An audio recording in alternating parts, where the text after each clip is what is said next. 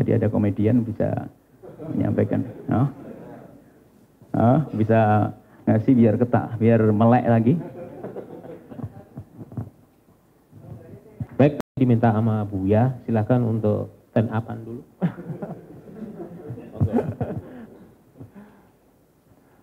Assalamualaikum warahmatullahi wabarakatuh. Assalamualaikum warahmatullahi wabarakatuh. Oh.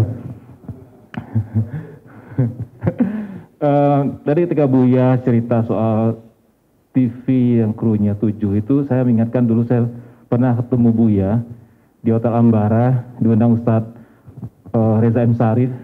Waktu itu kita punya impian punya TV Islam gitu ya. Alhamdulillah saya tadi senang juga akhirnya eh, jalan Allah itu juga membukakan jalan. Sekarang banyak sekali kan TV-TV dakwah yang seperti kita rindukan dulu gitu. Eh, saya nggak berani lucu karena ada Ari Untung lebih lucu, lebih terkenal lagi. Sebenarnya saya tuh nggak mau jadi komedian, pengennya kayak Tengku Wisnu pemain sinetron. Tapi saya selalu gagal di babak audisi kan, nah, casting gitu. Mulai sudah. Iya, Masuk. masuk.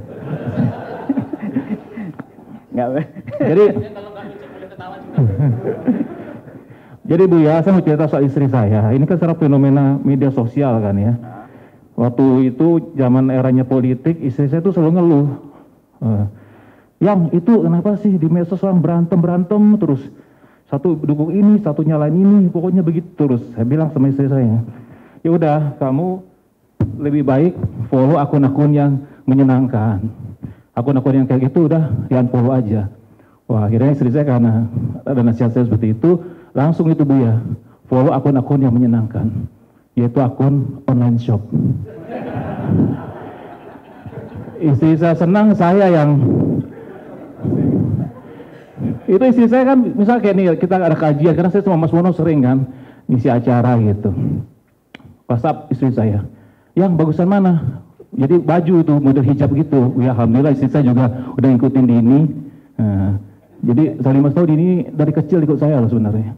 Hmm, iya dari SMA udah kenal udah kayak adik saya sendiri saya adiknya banyak bu ya semua udah nggak adik Ah, jadi eh, istri saya kan warna-warna hijab hijau sama merah. Yang bagus mana hijau atau merah? Saya bilang bagus merah. Bukan yang hijau katanya gitu. Lah, ini gimana kalau udah punya pilihan sendiri ya sudah ya. Saya bilang iya bagusan hijau gitu. Ya akhirnya istri saya bikin pilihan sendiri. Ya milih warna hitam. Saya bilang ini kayak politisi ya. Pura-pura aspirasi padahal sudah punya jalan sendiri gitu. Nah ini terakhir Bu ya, jadi saya ini, ini terakhir, ini terakhir. Kalau mau dipator mau terakhir pasti ada berikutnya lagi Bu. Nah. Jadi saya itu senang baca Bu ya, Eh, senang baca. Saya sedih sekarang, katanya, ini saya sering nih Mas, eh, Mas Dodo juga, ini saya eh, sedih sekarang itu. Minat baca remaja itu sudah kalah sama minat melihat Instagram. Jadi anak-anak muda sekarang tuh lebih senang lihat Instagram daripada baca. Ini saya baca di Instagram.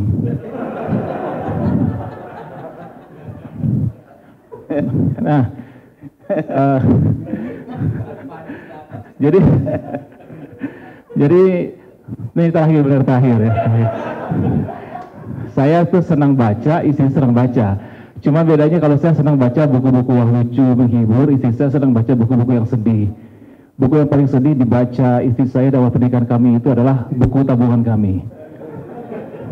Itu kalau baca Bu ya langsung ke bagian akhir, saldo akhir ya. Saya tanya, yang saldo tinggal berapa? Istri saya jawab tinggal kenangan. saya sebagai suami juga motivator, saya motivasi istri saya. Sayang, kekayaan bukan menjamin kebahagiaan. Nah, Saya bilang gitu Bu ya, benar kan Bu ya? Saya bilang, sayang, kekayaan tidak menjamin kebahagiaan. Wah, istri saya nyawat apalagi miskin.